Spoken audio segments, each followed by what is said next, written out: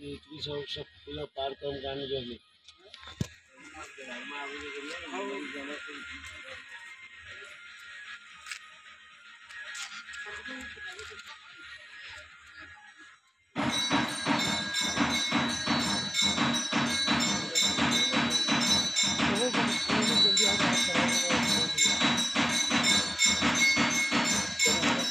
जोधपुर में